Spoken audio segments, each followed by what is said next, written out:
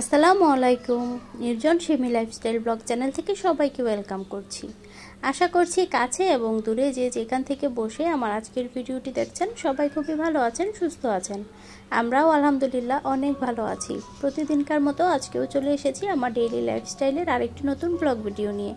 আশা করছি বরাবরের মতো আজকের ভিডিওটি আপনাদের কাছে অনেক বেশি ভালো লাগবে। আজকে সন্ধ্যা থেকে আমি আমার ব্লগটা শুরু করেছি। একদম সন্ধ্যা থেকে পরের দিন পর্যন্ত আমার ব্লগটা আমি কন্টিনিউ করব। তো আজকের ভিডিওতে আমি আমার সংসারের কাজকর্ম, রান্নাবান্না সেই সাথে আমি আমার ব্যালকনিটা ডিপ ক্লিন করে একদম নতুন করে একটু ডেকোরেশন করে নিয়েছি। ব্যালকনি মেক ওভার বলা যায়। তো আশা করছি আজকের ভিডিওটি দেখলে আপনারা অনেক আইডিয়া পেয়ে যাবেন। আর আপনাদের কাছে আজকের ভিডিওটি অনেক বেশি ভালো লাগবে। তো না টেনে সম্পূর্ণ ভিডিওটি দেখার অনুরোধ রইল। আর ভিডিও দেখার শুরুতে একটি লাইক দিয়ে দিবেন। এটা আমার একটা রিকোয়েস্ট রইল আমার প্রিয় আপু এবং ভাইয়াদের কাছে।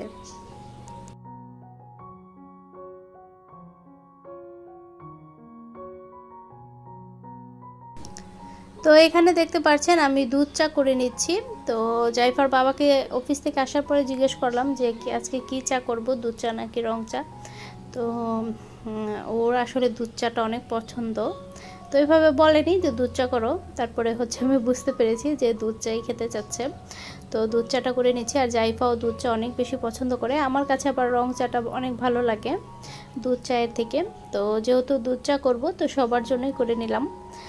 তো আজকে হচ্ছে সন্ধ্যার দিকে কোনো নাস্তা বাসায় বানাইনি। কিনা নাস্তা দিয়ে আজকে সন্ধ্যার নাস্তাটা সেরে নিয়েছি। চা আর বিস্কিট দিয়ে আজকে সন্ধ্যার নাস্তাটা সারলাম। আর সাথে কলা ছিল।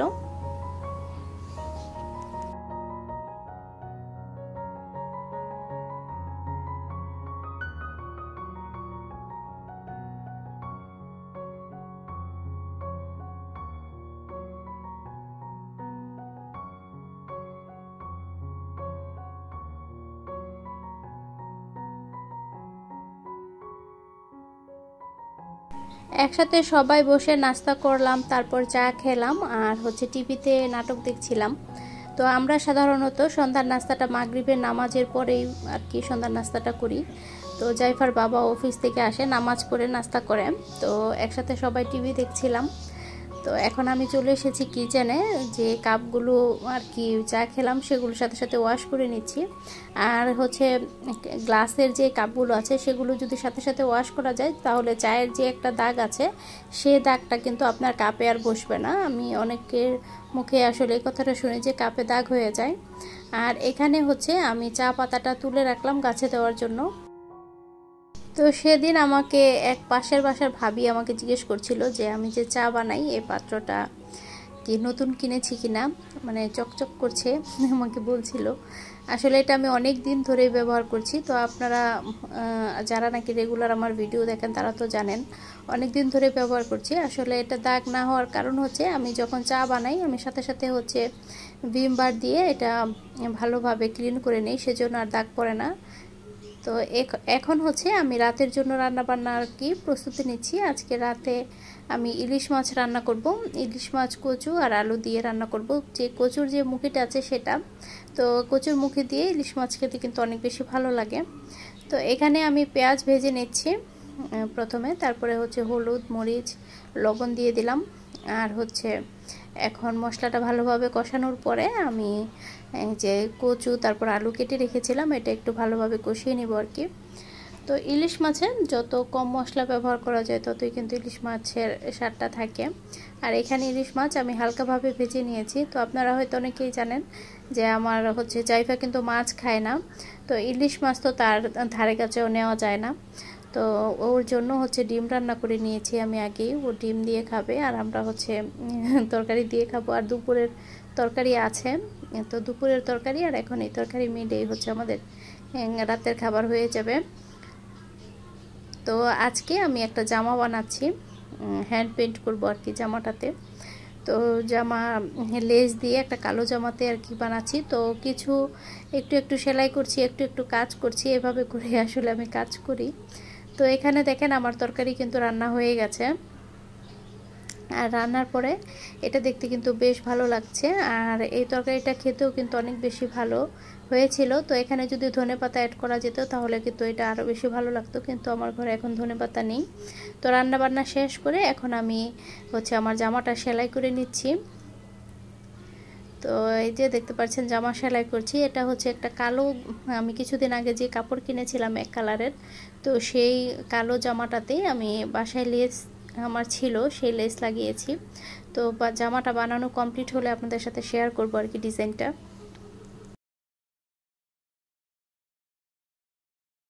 তো এই তো আমার জামা বানানো কমপ্লিট হয়ে গেছে, দেখতে পাচ্ছেন। আমি হাতার মাঝে লেস দিয়েছি।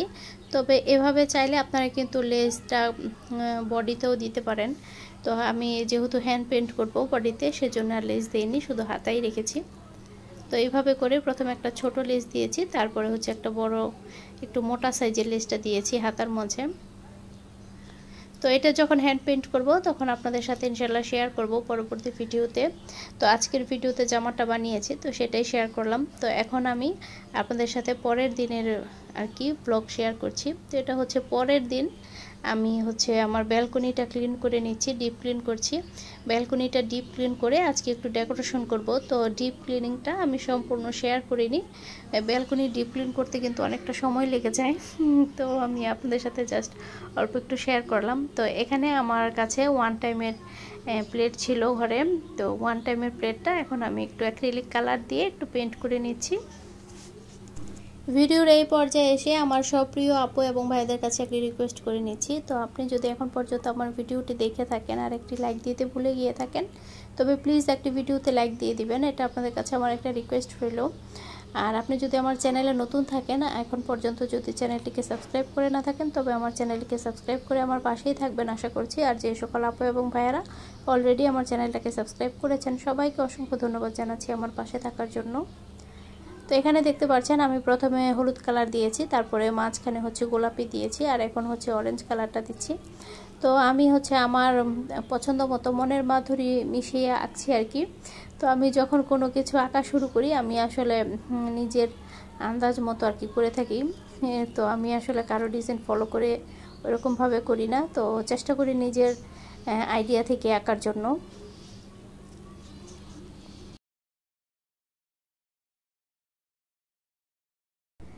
একদমই সিম্পলভাবে আমি এঁকে নিয়েছি। ফুল, পাতা, এই তো। তারপরে হচ্ছে আমার বাসায় একটাই ওয়ান টাইমের প্লেট ছিল। আমি আপনাদের ভাইয়াকে বলেছিলাম ওয়ান টাইমের প্লেট আনার জন্য। তো ও কালকে যখন অফিস থেকে এসেছে, ওর নাকি মনে নেই, ভুলে গিয়েছে। তো এখন আর কি করা? একটা যেহেতু আছে, এটা দিয়ে এখন কাজ চালিয়ে নিচ্ছি।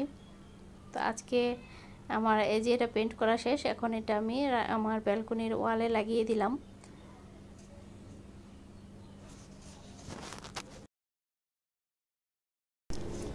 আর বাকি যেগুলো দেখতে পাচ্ছেন, ওয়ালমেট, এটা হচ্ছে আমি রশি দিয়ে তারপরে বানিয়েছিলাম। এর আগে একটা ব্লগে আপনাদের সাথে শেয়ার করেছিলাম, আপনাদের মনে আছে কিনা জানি না।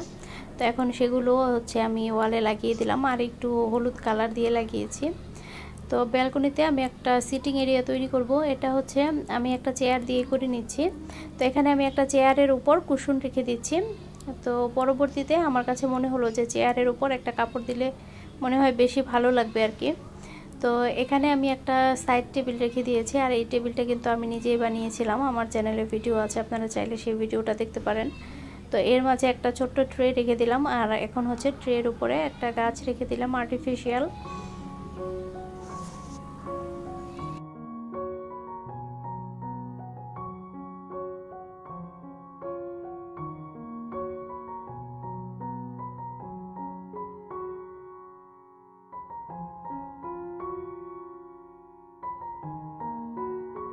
তো চেয়ারের উপর বলেছিলাম যে একটা কাপড় দিলে ভালো লাগবে। তো এখানে আমি একটা আমার পুরাতন হিজাব আছে, সেটা দিয়ে দিয়েছি।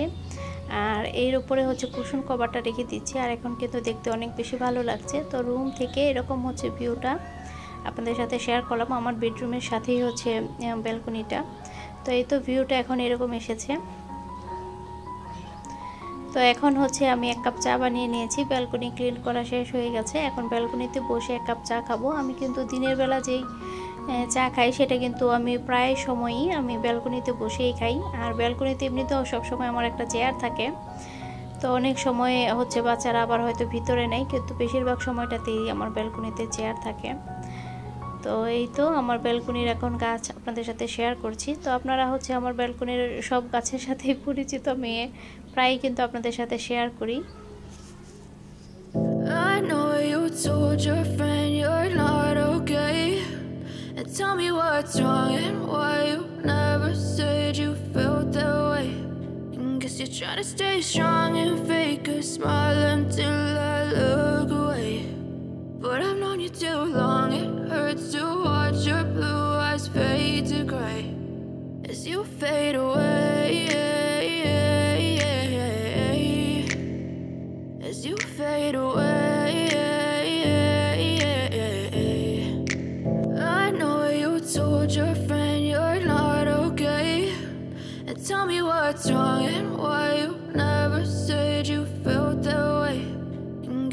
To stay strong and fake a smile until I look away. But I've known you too long, it hurts to watch your blue eyes fade to gray as you fade away.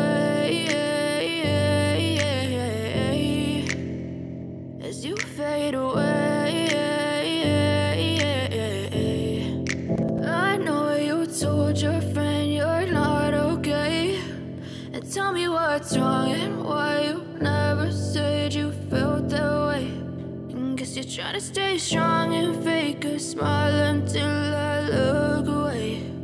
But I've known you too long, it hurts to watch your blue eyes fade to gray as you fade away.